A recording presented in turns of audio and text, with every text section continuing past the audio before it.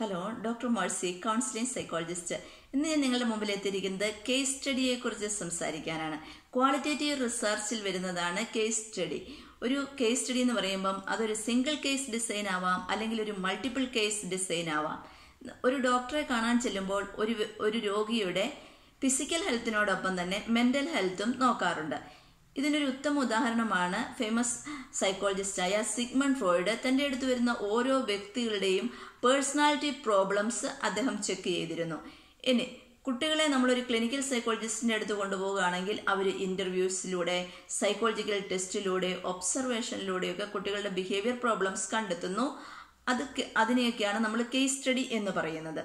ഇനി types of case studies first one illustrative case studies ഓരോ ഒന്നോ രണ്ടോ സംഭവം ഉണ്ടായി കഴിയുമ്പോൾ അത് ഏത് സാഹചര്യത്തിലാണ് സംഭവിച്ചത് എന്ന് വിവരിക്കുന്നതാണ് ഇല്ലുസ്ട്രേറ്റീവ് കേസ് സ്റ്റഡീസ് അഡോളസൻസ് കുട്ടികൾ ആരെങ്കിലും അഗ്രസീവ് ബിഹേവിയർ കാണിക്കുകയാണെങ്കിൽ ഏത് സാഹചര്യത്തിലാണ് അവർക്ക് ഈ അഗ്രസീവ് ബിഹേവിയർ വന്നത് എന്ന് ചെക്ക് ചെയ്യുന്നു.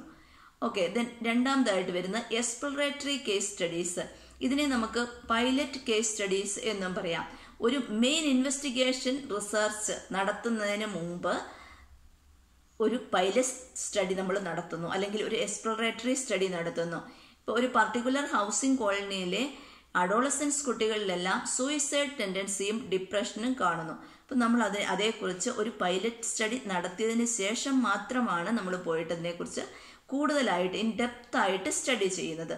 അടുത്തത് ക്യുമുലേറ്റീവ് റിസർച്ച് അല്ലെങ്കിൽ ക്യുമുലേറ്റീവ് കേസ് സ്റ്റഡീസാണ് വ്യത്യസ്ത ഉറവിടങ്ങളിൽ നിന്ന് ശേഖരിച്ച വിവരങ്ങൾ വ്യത്യസ്ത കാലയളവിൽ സംഗ്രഹിക്കുന്നു.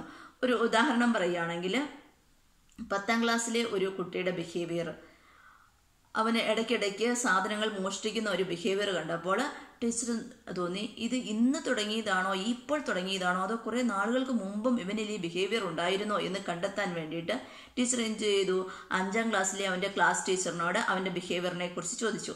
അത് കഴിഞ്ഞ് സിസ്ത് അങ്ങനെ ഓരോ ക്ലാസ്സിലും ഈ കുട്ടിക്ക് ഇത് നേരത്തെ തന്നെ ഉണ്ട ഉള്ളതായിരുന്നോ എന്നറിയാൻ വേണ്ടിയിട്ട് സ്റ്റഡി നടത്തുന്നു. ഇതിനാണ് ക്യുമുലേറ്റീവ് കേസ് സ്റ്റഡീസ് എന്ന് പറയുന്നത്.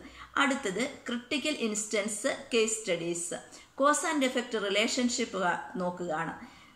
അതായത് ഒരു എക്സാമ്പിൾ പറയുകയാണെങ്കിൽ ചെറുപ്പകാലങ്ങളിൽ എ ഡി എച്ച് ഡി ഉണ്ടായിരുന്ന കുട്ടിക്ക് വളർന്നു വരുമ്പോൾ ആന്റി സോഷ്യൽ ബിഹേവിയറിലേക്ക് വരാനുള്ള ഒരു സാധ്യതയുണ്ട്. അത് ഉണ്ടോ? അത് അങ്ങനെയാണോ ഈ കുട്ടിക്ക് ഇപ്പോൾ ആന്റി സോഷ്യൽ ബിഹേവിയർ വന്നത് എന്ന ആ കോസ് ആൻഡ് എഫക്റ്റ് റിലേഷൻഷിപ്പ് നോക്കുന്നതാണ് ക്രിട്ടിക്കൽ ഇൻസ്റ്റൻസ് കേസ് സ്റ്റഡീസ് എന്ന് പറയുന്നത്. ഇനി നമുക്ക് നോക്കാനുള്ളത് സ്റ്റെപ്സ് കേസ് സ്റ്റഡിയുടെ സ്റ്റെപ്സ് ഏതൊക്കെയാണെന്നുള്ളത്. ആദ്യം പ്രസന്റ് സ്റ്റാറ്റസ് ആണ് നോക്കേണ്ടത്. നമ്മുടെ അടുത്ത് വന്ന വ്യക്തിയുടെ പ്രസന്റ് സ്റ്റാറ്റസ് ഇപ്പോൾ വന്നിരിക്കുന്ന വ്യക്തി ഇപ്പോൾ എക്സാമ്പിൾ ഞാൻ ആവുകയാണെങ്കിൽ എനിക്കിപ്പോൾ ഡിപ്രഷനായിട്ടാണ് ഞാൻ ഡോക്ടറുടെ അടുത്ത് വന്നത്. എനിക്കിത് വരാൻ തുടങ്ങിയത് കുറച്ച് നാളുകളെ ആയിട്ടുള്ളൂ. കഴിഞ്ഞ ആറു മാസം മുതലാണ് എനിക്ക് ഇങ്ങനെയൊരു കേസ് വരാൻ തുടങ്ങിയത്. അത് എന്തുകൊണ്ട്? ഐഡന്റിഫൈ ചെയ്യാണ് അടുത്ത സ്റ്റെപ്പ് വരുന്നത്. ഐഡന്റിഫൈ ചെയ്യുന്നത്. ഈ ആറു മാസം മുമ്പില്ലാത്ത ഡിപ്രഷൻ ഇപ്പോൾ വരാനുണ്ടായ സാഹചര്യം എന്താണ്? അപ്പോൾ നോക്കുമ്പം എന്റെ ഫാമിലിയിൽ കുറേ പ്രോബ്ലംസ് വന്നു. ആ പ്രോബ്ലംസുമായി ബേസ് ചെയ്തിട്ടാണ് എനിക്ക് ഇങ്ങനെയൊരു ഡിപ്രഷനിലേക്ക് വന്നത്. അപ്പോൾ വെരിഫൈ ചെയ്യുകയാണ് ഹൈപ്പോത്തിസ് വെരിഫൈ ചെയ്യുകയാണ്. പുവർ ഫാമിലി റിലേഷൻഷിപ്പാണ് അതുപോലെ തന്നെ അഡ്ജസ്റ്റ്മെന്റ് പ്രോബ്ലം വന്നു. കുറേ എക്കണോമിക് പ്രോബ്ലം വന്നു. ഇതൊക്കെ കൊണ്ടാണ് ഇപ്പോൾ ഈ ഡിപ്രഷനിലേക്ക് വെരിഫൈ ചെയ്ത് കഴിഞ്ഞു. ദെൻ ഡയഗ്നോസിസ് ചെയ്യുകയാണ് റെമഡിയൽ മെഷേഴ്സ് കൊടുക്കുകയാണ്. ഇത് വെരിഫൈ ചെയ്ത് കഴിഞ്ഞ് കഴിഞ്ഞാൽ തെറാപ്പിയിലൂടെ നമ്മൾ ഈ ഡിപ്രഷൻ ഇവരുടെ മാറ്റി കൊടുക്കണം. ഇപ്പോൾ എനിക്ക് ഡിപ്രഷൻ ആണെങ്കിൽ ഞാൻ പോകുന്ന ക്ലിനിക്കൽ സൈക്കോളജിസ്റ്റ് എനിക്ക് കുറച്ച് തെറാപ്പികൾ തരും. Relaxation therapy cognitive behaviour therapy അതും അല്ലെങ്കിൽ കോ മസിൽ റിലാക്സേഷൻ തെറാപ്പി അങ്ങനെ എന്റെ ഡിപ്രഷൻ മാറ്റിയെടുക്കാനുള്ളതും അതേപോലെ എനിക്ക് കുറേ അസർട്ടീവ് ട്രെയിനിങ്ങും തന്നു.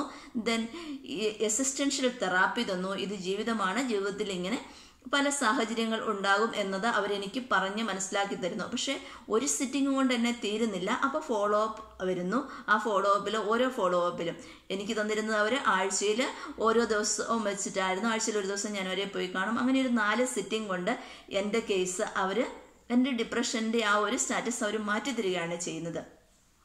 ഇനി ഇത് മാറ്റി തരുന്നതോടൊപ്പം ഇത് എഴുതി എടുക്കാനുള്ളത് കേസ് സ്റ്റഡി എഴുതി എടുക്കുമ്പോൾ എല്ലാ കേസ് വളരെ അനലൈസ് ചെയ്ത് എഴുതും. ഏത് സാഹചര്യത്തിൽ നിന്നാണ് ഇവർക്ക് ഈ അസുഖം വന്നത് എങ്ങനെയാണ് എന്നുള്ളത്.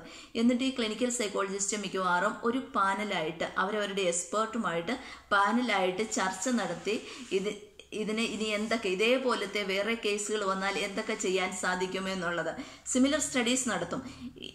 എന്റെ ഒരു സാഹചര്യം പോലെ മറ്റൊരു വ്യക്തിയും വരികയാണെങ്കിൽ അവർക്കും ഏതൊക്കെ തെറാപ്പികൾ കൊടുക്കാൻ പറ്റും എങ്ങനെയൊക്കെ ചെയ്യാൻ പറ്റും അങ്ങനെ ഒരു ക്രോസ് എക്സാമിനേഷൻ നടത്തും അവർ എന്റെ സാഹചര്യമായിരിക്കുകയല്ല മറ്റൊരു വ്യക്തിക്ക് വരുന്നത് ഇൻഡിവിജ്വൽ ഡിഫറൻസസ് ഉണ്ട്. അപ്പോൾ ആ ഇൻഡിവിജ്വൽ ഡിഫറൻസസ് അനുസരിച്ച് എന്തെല്ലാം മാറ്റങ്ങൾ വരുത്താം ഒരു കേസിന് കൊടുക്കുന്ന അതേ തെറാപ്പി തന്നെ മറ്റൊരു കേസിന് കൊടുക്കാൻ പറ്റുമോ? രണ്ടുപേർക്കും ഡിപ്രഷൻ ആണെങ്കിലും രണ്ടുപേരും വന്നത് വ്യത്യസ്തമായ സാഹചര്യത്തിൽ നിന്നാണ്. അപ്പോൾ തെറാപ്പികളിലും മിക്കവാറും വ്യത്യസ് വ്യത്യസ്തത വരുന്നു. രണ്ട് പാരമ്പര്യത്തിൽ നിന്നാണ് വന്നത്. അപ്പോൾ അതിലും വ്യത്യാസം വന്നു. ഇങ്ങനെ ഓരോ കേസ് സ്റ്റഡിക്കും അനുസരിച്ച് തെറാപ്പികൾ മാറുന്നു. അസുഖം ഒന്നാണെങ്കിൽ പോലും തെറാപ്പികളിൽ മാറ്റങ്ങൾ വരുന്നു. ഇൻഡിവിജ്വൽ ഡിഫറൻസ് അനുസരിച്ച്. Okay thank